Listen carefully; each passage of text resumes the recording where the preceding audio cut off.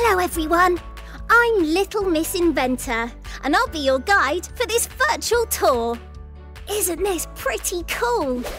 We're in a 360 degree world, which means you can control what you see as I show you around.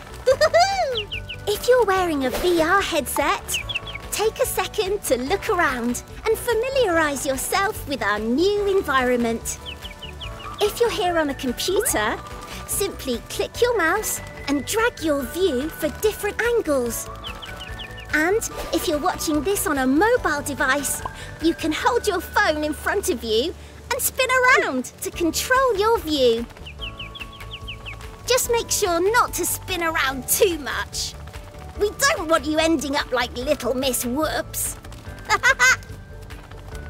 if something catches your interest on the tour and you lose sight of me, don't worry. Arrows will pop up to show you where I am. Are you ready?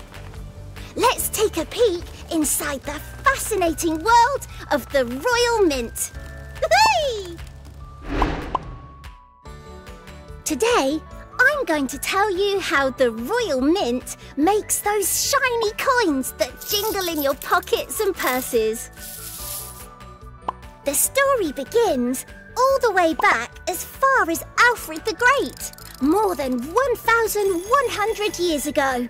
Yes, that's how old the Royal Mint is. The Royal Mint is one of the largest mints in the world. Not to mention one of the most imaginative. It makes coins for more than 30 countries each year, including Tonga, New Zealand, and Costa Rica. Not all their coins are made for pockets, though.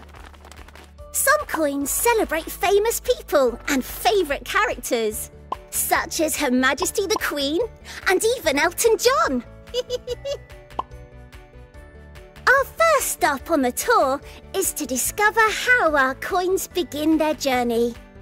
It takes lots of skill and creativity to make a coin, especially to the Royal Mint's high standards.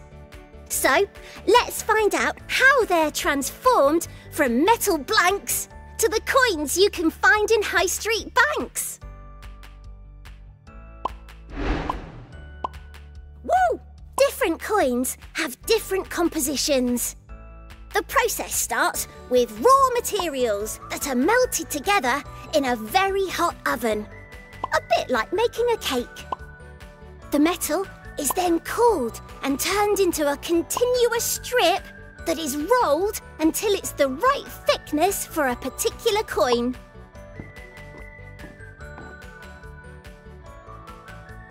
The next part of the process is to make the blanks from the strip. A blank is a disc of metal with no design on the front or back and the machine that produces them can make an incredible 10,000 blanks every minute. Not even Mr. Rush can move that quickly.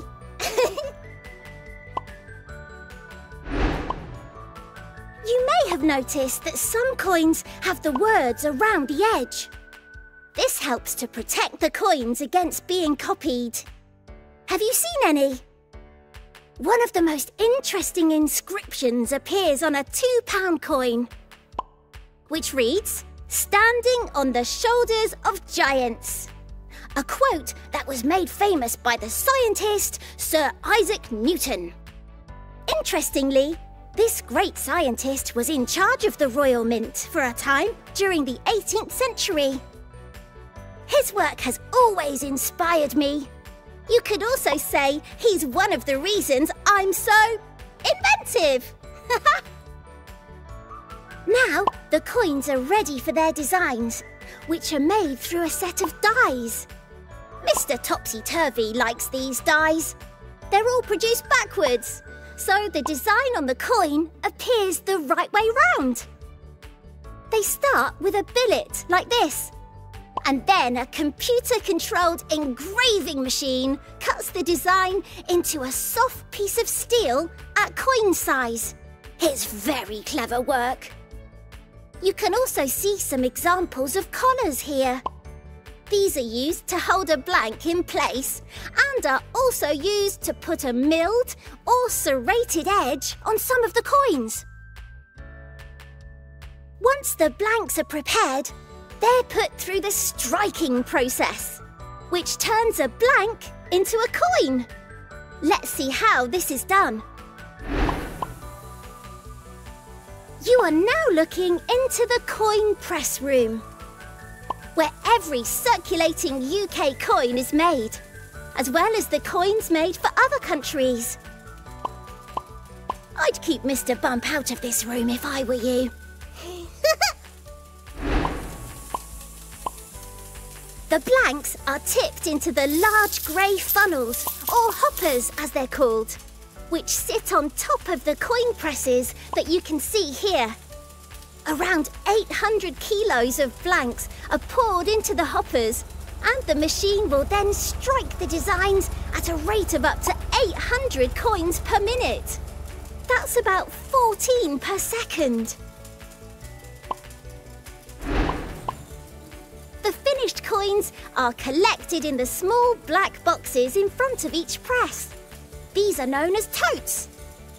Once the newly minted coins have collected in the totes, they're inspected to make sure they're of a high quality before being released into the large crate sitting under each tote. Can you see the machine to your right? It's a bit different to the others because it has two hoppers. This is used to produce bimetallic coins, such as the UK £1 and £2 coins alongside coins for other countries around the world. The word bimetallic is used to describe a coin that is made of two different metals. Fascinating! The finished coins then need to be packaged using the telling machines. Quite a brilliant invention, if I say so myself, on the left-hand side of the room. These machines are used to weigh, count, check and verify the coins, which are then packaged in various formats depending on how a particular country would like them delivered. At this point, UK coins are sent to cash centres around the country, ready for distribution. It's all done rather cleverly.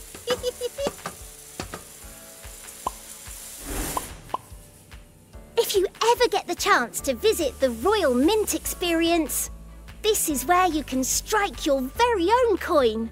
After learning about the imagination and invention that goes into creating one.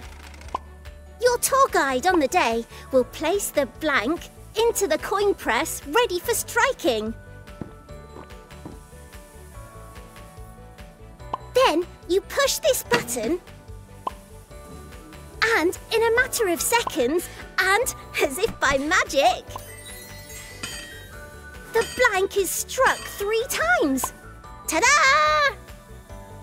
You've struck your very own coin, which is ready to be packed and taken home as a special memento of your visit. Shinier and more sparkly than Little Miss Sparkle. I hope you've enjoyed the tour. I certainly have. You might have guessed, I love all things to do with inventing and clever creating. It's been wonderful to show you the process that a coin goes through before it lands in your pocket. My friends are calling me now, so it's time I joined them back in Happy Land. I hope you're able to visit the Royal Mint experience soon so you can see all the marvellous machinery and creative coin making in person. You'll find more details at royalmint.com slash experience. Stay creative and take care!